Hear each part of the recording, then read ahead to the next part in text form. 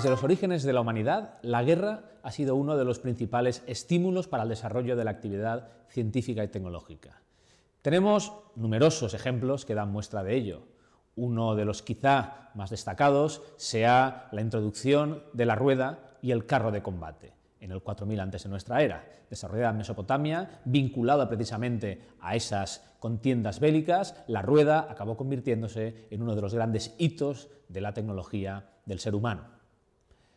Sin duda, la guerra ha sido responsable de multitud de recursos que se han invertido, recursos humanos, recursos financieros, para desarrollar la práctica científica. Y eso ha supuesto que se hayan abierto nuevos espacios para el desarrollo de esa actividad científica, para el desarrollo de la investigación, como son las instalaciones militares y los mismos campos de batalla.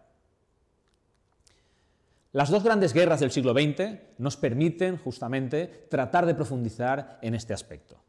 Por ejemplo, la Primera Guerra Mundial, en la cual el uso de agentes químicos, agentes como el cloro, como el fosgeno, como el gas mostaza, o la producción de explosivos, hizo que los químicos jugaran un papel destacado y por tanto fuera por muchos denominada la guerra de los químicos. Una guerra que para otros autores, sin embargo, debería ser más bien llamada la guerra de los ingenieros o la guerra de la información, por el papel que jugaron las nuevas tecnologías, en este caso vinculadas con el conflicto desde la introducción de carros de combate, pasando por el uso de aeronaves, eh, dirigibles, submarinos, incluyendo toda una serie de aspectos relacionados con la comunicación, como puede ser la radio, el teléfono y el telégrafo, hicieron que esta guerra se convirtiera o convirtiera los campos de batalla y convirtiera las instalaciones militares en lugares en los que cultivar la ciencia y la tecnología. Algo similar sucede con la Segunda Guerra Mundial. En la Segunda Guerra Mundial no podemos obviar la importancia que precisamente tuvo la contienda, para desarrollar los orígenes de la computadora o el papel determinante que tuvo en el desarrollo de la física atómica y de la bomba atómica. Por no hablar de la ingeniería espacial, del desarrollo de materiales sintéticos, del desarrollo de la microscopía electrónica, aspectos todos ellos íntimamente relacionados con los intereses de la guerra. En esta imagen, por ejemplo, podemos ver una instalación militar que jugó un destacado papel en el desarrollo de la computación. Estamos hablando de Bletchley Park, un lugar en el cual criptógrafos como Alan Turing trataron de descifrar los mensajes que eran enviados por los altos mandos de la Alemania nazi.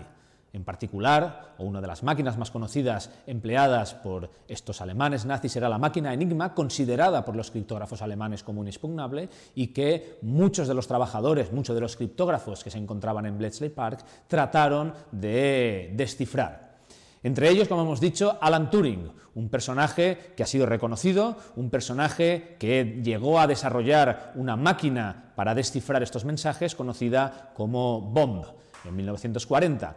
El trabajo en paralelo que se realizaba en Bletchley Park hizo que iniciativas similares, como por ejemplo la desarrollada por el matemático Max Newman, llevaran al desarrollo de otras máquinas semejantes, como Colossus, desarrollada en 1943, una máquina que tenemos aquí, que fue desarrollada en diferentes ocasiones, que fue mejorada y que permitió descifrar los mensajes enviados por las máquinas Lorentz, que eran los mensajes o las máquinas empleadas, en este caso, para las comunicaciones de más alto nivel en la Alemania nazi. Colossus se convirtió en una máquina que, si bien es cierto que demandaba ayuda humana, también era capaz de decidir por ella misma. De hecho, siempre y cuando se le dotara de unas instrucciones predeterminadas, era capaz de hacerlo. Y estaba basada además en la teoría estadística que había desarrollado ya Alan Turing para descodificar los mensajes y que había puesto de manifiesto en su máquina. Toda esta experiencia acumulada, cuando retornaron los científicos y los ingenieros a las universidades una vez finalizada la contienda, una vez finalizada la Segunda Guerra Mundial,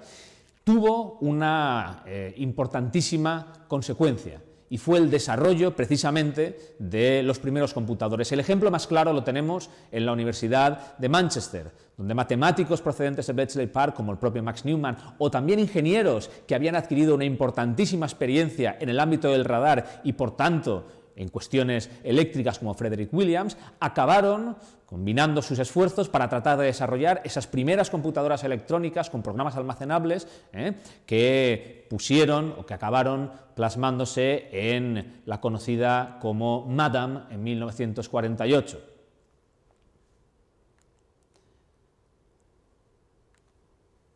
El proyecto Manhattan es otro de esos ejemplos que nos permite visualizar, presentar ese papel que jugó la ciencia y la tecnología en las instalaciones militares, o mejor dicho, cómo las instalaciones militares se convirtieron en lugares para el cultivo privilegiado de la ciencia y la tecnología durante las contiendas bélicas.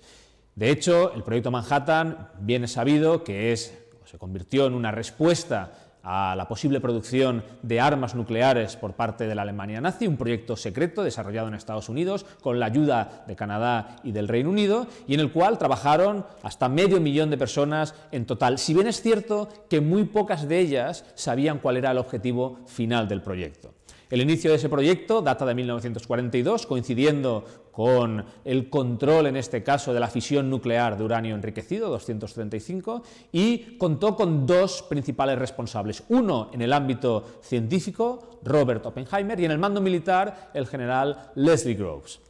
Entre ambos acabaron desarrollando este proyecto que culminó en 1945 con la explosión, el denominado Trinity Test del 16 de julio, realizado meses después de la rendición alemana, pero que lógicamente tenía una importancia capital de cara a la guerra que continuaba con Japón y que, como bien es sabido, acabó con el lanzamiento, en este caso, de sendas bombas, eh, Little Boy y Fat Man, sobre Hiroshima y Nagasaki.